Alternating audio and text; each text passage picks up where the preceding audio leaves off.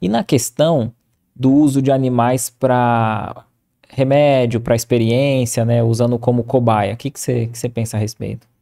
Tem um capítulo, são dois capítulos no livro que falam especificamente sobre a temática, onde os alunos vão visitar laboratórios do plano físico, dos planos encarnados, para ver esses animais de dor e sofrimento.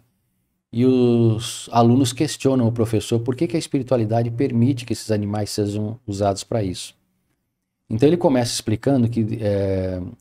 de acordo com a evolução da ciência,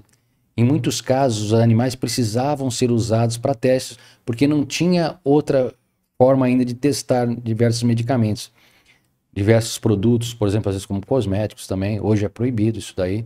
E ele dá uma informação muito interessante para os alunos que vai chegar um tempo que a ciência dos encarnados está desenvolvendo um aparelho onde todo tipo de medicação, todo tipo de produto poderá ser testado nesses aparelhos e eles vão